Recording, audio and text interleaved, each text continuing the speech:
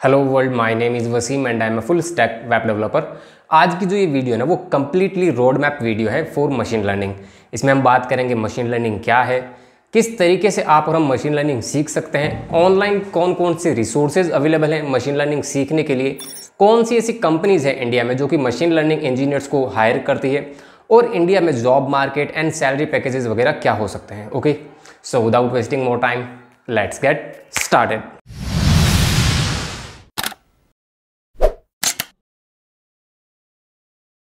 तो सबसे पहले बात करते हैं what is machine learning in technical words machine learning का मतलब ये कि कुछ ऐसी एल्गोरिदम डिज़ाइन करना जो कि लार्ज अमाउंट ऑफ़ डेटा को प्रोसेस करे, ठीक है? अब यहाँ पर होगा क्या कि यूज़र के एक्शंस के अकॉर्डिंग आगे के आउटपुट जनरेट किए जाएँगे, ठीक है? अगर मैं इसको एक एग्ज़ाम्पल से एक्सप्लेन करूँ तो फॉर एग्ज़ाम्पल अभी आप यूट्यूब पे ये मेरी वीडियो देख रहे हैं, ठीक है? तो यूट्यूब आपको ऑटो रिकमेंड कर रहा है मेरे चैनल के कोई और वीडियो या फिर मशीन लर्निंग से ही रिलेटेड कोई और वीडियो राइट ये एक एग्ज़ाम्पल हो सकता है। सेकेंड एग्ज़ाम्पल इसके होते हैं चैटबॉट अगर आपने किसी वेबसाइट पे चैट बॉक्स मैसेज किया है तो आपको ऑटो रिप्लाई मिलता है एज पर योर मैसेज जो आपने लिखा है ना, उसके अकॉर्डिंग जो उनके डेटाबेस में नंबर ऑफ़ मैसेजेस होते हैं उसके अकॉर्डिंग आपको एक ऑटो रिप्लाई मिल जाता है। या फिर आपने जीमेल तो यूज़ किया ही होगा। जीमेल में भी कुछ मेल्स ऐसे होते हैं जो कि आपके स्पैम में आते हैं। अब ये स्पैम में कैसे आते हैं? बिकॉज़ वहाँ पे पीछे मशीन लर्निंग एल्गोरिदम्स होती हैं, जो कि वो उन मेल्स के कंटेंट को पढ़ती है, ठीक है? अगर उनको लगता है कि इस मेल के अंदर कुछ ऐसा कंटेंट है जो कि यूज़र के लिए हार्मफुल हो सकता है, कुछ ऐसे लिंक्स हैं, जो कि यूज़र के लिए सही नहीं है तो वो ऑटोमेटिकली स्पैम में चले जाते हैं। तो इस तरीके का जो भी वर्क होता है ना, वो यूज़र के अकॉर्डिंग होता है। मतलब मैं कोई वीडियो देख रहा हूँ तो मुझे उसी से रिलेटेड दूसरे वीडियो मिल रहे हैं। कुछ मैसेज टाइप कर रहा हूँ तो उसी से रिलेटेड कुछ आंसर मिल रहा है। या फिर कुछ ऐसे मैसेजेस आ रहे हैं, जो कि मुझे मशीन को लग रहा है कि सही नहीं है यूज़र के लिए तो वो ऑटोमेटिक स्पैम में जा रहे हैं। तो ये सारा काम ऑटोमेटिक हो रहा है। मशीन खुद करिए as per the algorithm okay अब बात करते हैं कि मशीन लर्निंग आप कैसे सीख सकते हैं। तो देखो मशीन लर्निंग सीखने के लिए पहले कुछ प्री रिक्वेस्टीज होती हैं, वो आपको आना ज़रूरी है। मतलब बेसिक नॉलेज होना उनका ज़रूरी है। अब इसमें कुछ मैथमेटिक्स के टॉपिक्स हैं तो कुछ प्रोग्रामिंग लैंग्वेजेस भी है। अगर मैथमेटिक्स की मैं बात करूँ तो लीनियर एल्जेब्रा हो गया स्टेटिस्टिक्स हो गए, और अगर प्रोग्रामिंग लैंग्वेज की मैं बात करूँ तो पाइथन हो गई, ठीक है? अब ज़रूरी नहीं है कि आपको इनमें पीएचडी करनी है, नहीं। बेसिक नॉलेज है तो भी बहुत है आपके लिए। अगर आपके इन सभी प्री रिक्वेस्टीज के बेसिक्स क्लियर हैं तो वेल एंड गुड आप डायरेक्टली मशीन लर्निंग के जो भी कोर कॉन्सेप्ट्स हैं, उन पर जंप कर सकते हैं। अदरवाइज़ मेरे दोस्त, पहले आप प्री रिक्वेस्टीज सीखिए, कुछ टाइम इन्वेस्ट कीजिए वहाँ पर then you can try to core concept of machine learning इसी के साथ साथ मशीन लर्निंग के तीन मेजर टाइप्स होते हैं वो भी आपको पढ़ने पड़ेंगे। इसमें नंबर वन पर आता है सुपरवाइज्ड लर्निंग इस कॉन्सेप्ट में देखो जनरली क्या होता है ना कुछ इस टाइप की एल्गोरिदम्स लिखी जाती हैं जो कि यूज़र के इनपुट के अकॉर्डिंग नेक्स्ट टाइम खुद एक्शन परफॉर्म कर पाए on that kind of task for example मुझे लगता है कि ये पर्टिकुलर मेल स्पैम में जाना चाहिए। ठीक है मैं uh, मुझे सही नहीं लग रहा ठीक है वो मेल तो मैं उसको फ्लैग um, कर दूँगा या फिर कह सकते हैं कि उसको लेबल कर दूँगा एज स्पैम तो नेक्स्ट टाइम मशीन क्या करेगी? ऑटोमेटिकली डिटेक्ट कर लेगी। अगर उसी टाइप का मेल दोबारा आता है तो।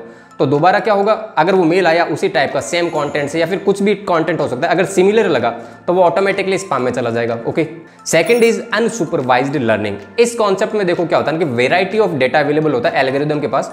वो एल्गो उस डेटा को रीड करती है प्रोसेस करती है और खुद से कुछ इनसाइट्स प्रोवाइड करती है। इसका एक एग्ज़ाम्पल हो सकता है यूट्यूब स्टूडियो अब यूट्यूब स्टूडियो में क्या होता है ना कि यूट्यूब स्टूडियो जो भी क्रिएटर होता है, ठीक है, उनके सब्सक्राइबर्स होते हैं तो वहाँ पर हमें ये बताया जाता है कि आपके जो सब्सक्राइबर्स हैं, वो डे टाइम में किस टाइम पर सबसे ज़्यादा एक्टिव है?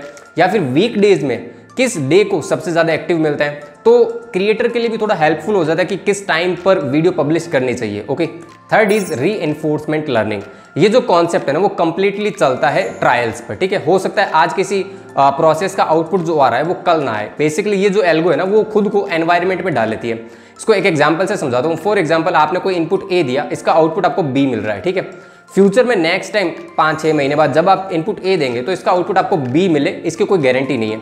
बिकॉज़ हो सकता है उस टाइम पर उसका आउटपुट सी हो चुका हो तो वो कंप्लीटली डिपेंड करेगा उस टाइम पर ओके अब अगर बात करें रिसोर्सेज के बारे में कि ऑनलाइन हम मशीन लर्निंग कैसे सीख सकते हैं तो इसमें नंबर वन तो आता है गूगल खुद। मतलब गूगल पर आपको जाके सिंपली सर्च करना है machine learning crash course by Google तो आपको नंबर वन रिज़ल्ट मिल जाएगा, आपको उस वेबसाइट पर जाना है, यहाँ पर आपको कंप्लीटली क्रैश कोर्स मिलेगा। मशीन लर्निंग पे, ठीक है? सेकंड नंबर प्लेटफॉर्म है made with M L made with M L dot com ये भी कंप्लीटली मशीन लर्निंग का ही है। और थर्ड नंबर प्लेटफॉर्म है Kaggle Kaggle dot com I guess domain में सही बता रहा हूँ। अदरवाइज़ मैं, आप डिस्क्रिप्शन भी चेक कर सकते हैं। मैं तीनों के लिंक ऐड कर दूँगा डिस्क्रिप्शन में। कैगल एक ऐसा प्लेटफॉर्म है जो कि मशीन लर्निंग पर आपको प्रोजेक्ट्स भी प्रोवाइड कर सकता है। वहाँ पर आप देख के काइंड ऑफ़ प्रोजेक्ट खुद से भी बना सकते हैं आइडिया वगैरह लेके। और कॉम्पिटिशन्स भी वहाँ पर होते हैं। तो आप कह सकते हैं ना कि अगर आपने सीख लिया है तो आप अपने स्किल्स को और इम्प्रूव कर सकते हैं।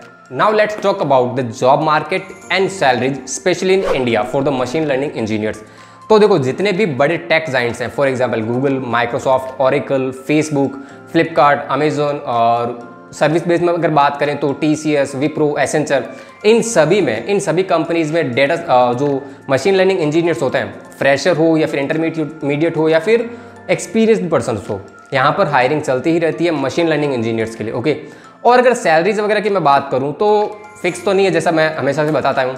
बट आई बिलीव कि छः से सात लाख मिनिमम स्टार्टिंग रेंज होती है मतलब एक साल का, ठीक है? इतना पैकेज तो आपको आराम से मिल सकता है, छः सात आठ लाख तो ठीक है? अब अगर बात करें कि यार मेरे जो बाजू में कंपनी है, मेरे शहर में जो कंपनी है, क्या वहाँ पर मुझे मशीन लर्निंग इंजीनियर की पोस्ट मिल सकती है?